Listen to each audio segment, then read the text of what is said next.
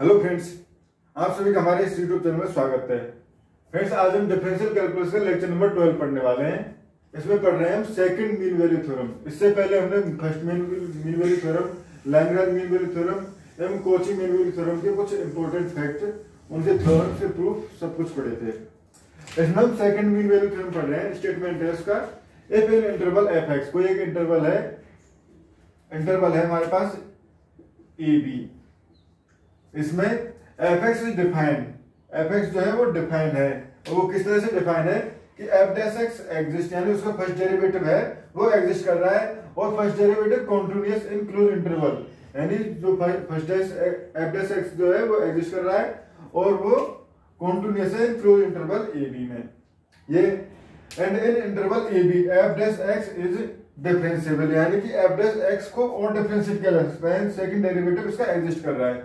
In interval A B में then इस interval में then there exist C belongs to A B such that तब उस condition में एक सी जो कि ए बी में से होगा। इस तरह से एग्जिस्ट करेगा कि एफ़ बी बराबर F A plus B minus A F dash A plus B minus A का square upon two factorial F dash C तो इस कंडीशन को, इस थ्योरम को हमें प्रूव करना है। तो फ्रेंड्स इसको प्रूव करने के लिए सबसे पहले हम एक फ़ंक्शन मानते हैं कि एक फ़ंक्शन है phi X let phi X बराबर एक फ़ंक्शन है हमारे पास, F A plus B minus A, F X, F dash X plus B minus A, sorry, F B minus X है, बी माइनस ए का square upon two factorial dot A और B minus x. ये हमने एक function माना है।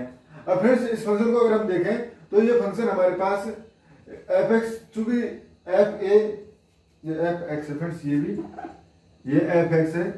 चूँकि F X जो है वो कॉन्टिन्यूस है। एफ़ डैश एक्स भी यहाँ पे ये इस इंटरवल में डिफरेंशिएबल है। डिफरेंशिएबल है मतलब एफ़ डैश एक्स भी कॉन्टिन्यूस है। और बी माइनस एक्स स्क्वायर ये भी फ्रेंड्स ये कॉन्टिन्यूस है ए इंटरवल में। तो यहाँ से हम कह सकते हैं कि ये फ़ंक्शन जो है फाइव एक्स जो फ़ंक्शन है ये इस ए बी इंटरवल में क्लोज इंटरवल ए बी में? डिफाइन है एंड कॉन्टिन्यूस है। और डिफरेंशियबिलिटी की चेक करते हैं। डिफरेंशियबिलिटी चेक करते हैं तो एफ़ एक्स डिफरेंशियबल है। बी माइनस एक्स डिफरेंशियबल है। B minus X F dash पूरा फ़ंक्शन है, ये डिफरेंशियबल है हमारे पास। और बी माइनस एक्स का होल स्क्वायर ये भी डिफरेंशियबल है। बाकी टर्म जो है वो कांस्टेंट है। तो यहाँ से हमारे पास फाइव एक्स जो है वो डिफरेंशियबल है। Implied phi X is continuous in A B एवं सेकंड कंडीशन जो है वो हमने शो शो की है। F X is differentiable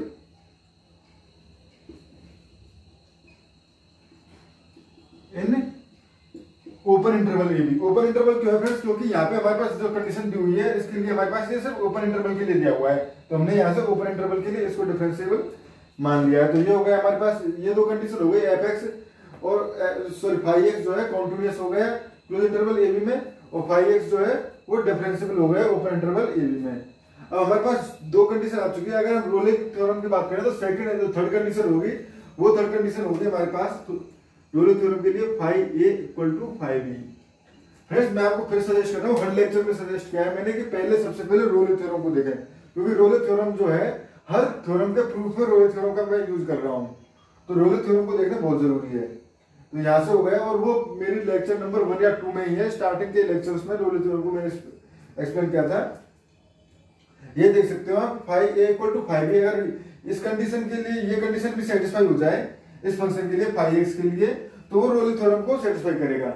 अगर इस कंडीशन को सेटिस्फाई कराना है तो हमें फाइव एक्स बराबर फाइव ई पुट करना है, और जो ये कांस्टेंट है ए इसकी वैल्यू निकालनी है। तो ये हो जाएगा हमारे पास एफ़ ये अगर फाइव एक्स फाइव ए बराबर फाइव है तो F A plus B minus A F dash A plus B minus A का square upon two factorial A ये किसके इक्वल है? ये इक्वल है फाइव बी के। तो फाइव बी की वैल्यू पुट करेंगे तो ये हो जाएगा हमारे पास एफ़ बी अगर यहाँ पुट करेंगे तो friends B minus B zero यहाँ पुट करेंगे तो ये भी ज़ीरो तो ये हो गए हमारे पास।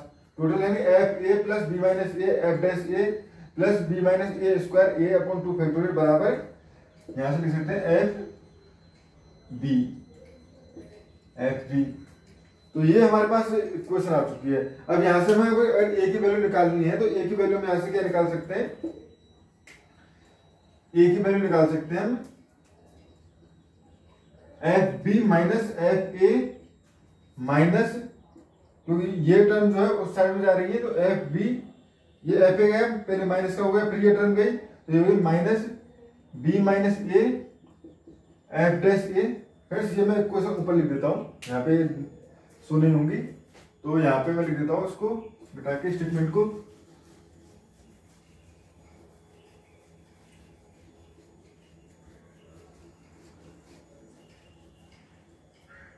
यहाँ से जो हो जाएगा हमारे पास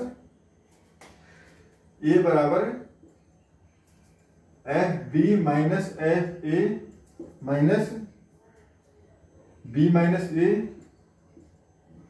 F dash A और यहाँ से जब ये जाएगा तो टू फैक्टोरियल ऊपर जाएगा और बी माइनस ए का नीचे मल्टीप्लाई हो जाएगा तो यहाँ से हो जाएगा two factorial upon B minus A तो बस ये हमारे पास एक कंडीशन आ गई जिसके लिए हमारे पास अब अगर हम ए की वैल्यू इस इक्वेशन में पुट करके देखें, इस इक्वेशन में पुट कर दें और उसके बाद हम देखेंगे तो ये कंडीशन भी सेटिस्फाई हो गई।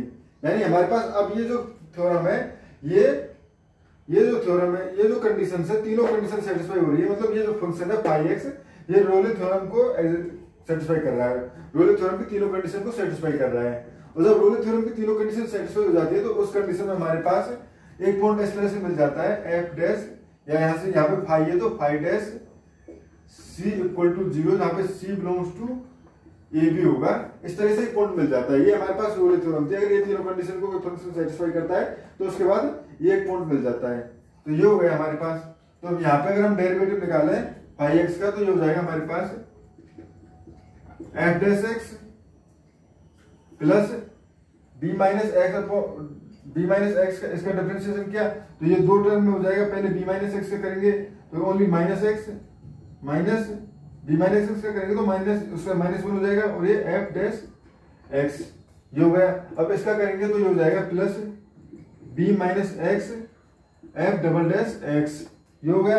अब इस टर्म का करेंगे तो इस टर्म का हमारे पास सिंपली इस टर्म का होगा, क्योंकि ये तो कॉन्स्टेंट है तो ये हो जाएगा टू इसके पावर टू है डिफ्रेंशिएशन होगा टू आगे आएगा टू से टू कट जाएगा तो ये हो गया only B minus X but B minus X से करेंगे तो माइनस साइन आ जाएगा। और एक इसमें मल्टीप्लाई में है फ्रेंड्स ये हो गया हमारे पास। अब यहाँ से अगर हम देखें तो एफ़ डैश एक्स से एफ़ डैश एक्स कट चुका है। एफ़ डैश एक्स से एफ़ डैश एक्स कट चुका है। तो और यहाँ से हमारे पास ये टर्म बची है only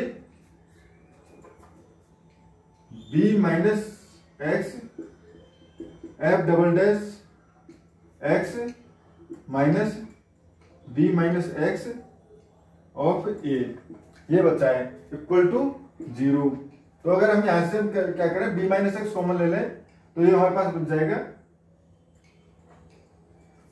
B minus x common ले लिया ये हो गया हमारे पास, ये हो गया हमारे पास F double dash X minus F double dash X minus A equal to zero तो यहाँ से अगर हम देखें तो यहाँ से हमारे पास आ गया ए बराबर, अगर यहाँ से हम देखें तो ए बराबर आ गया एफ़ डबल डैश एक्स या या या कहें कि कोई कांस्टेंट सी होगा, जिसके लिए ये टर्म ज़ीरो होगी। तो यहाँ पे हम उसको एफ़ एक्स को एक कांस्टेंट मान सकते हैं सी ये हो गया। तो यहाँ से हो गया हमारे पास ए बराबर एफ़ डबल डैश सी यानी ए को, पहले तो हमने सो क्या था कि ये एक ऐसा एलिमेंट इस तरह का एलिमेंट मिल जाएगा जिसके लिए फ़ंक्शन जो होगा, इस कंडीशन को सेटिस्फाई करेगा। अब हमने जब रूल थ्योरम का यूज़ किया तो हमारे पास ए बराबर आ गया second time derivative of C जहाँ पे फ़ंक्शन जो है ज़ीरो हो रहा होगा। तो ये हमारे पास आ गया। तो ये वैल्यू अगर हम यहाँ पुट कर दें तो यहाँ पे पुट करने में हमारे पास जो इक्वेशन थी फाइव एक्स बराबर, अगर यहाँ पुट कर दें तो ये हो जाएगा हमारे पास ए की जगह एफ़ डबल डैश सी जो कि हमारे पास थ्योरम में प्रूव करवा रहा था फ्रेंड्स कि इस तरह से हमारे पास एक रिज़ल्ट मिल जाएगा।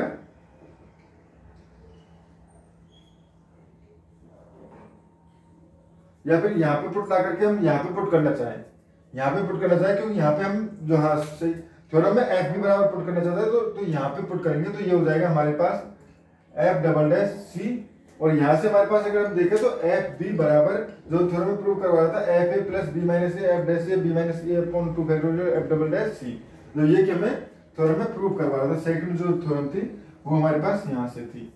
तो ये हमारे पास यहाँ से प्रूव हो गया कि इस तरह से जो सेकंड मीन वैल्यू थ्योरम है, उसका फाइनल रिज़ल्ट इस तरह से प्रूव किया जा सकता है। Thank you friends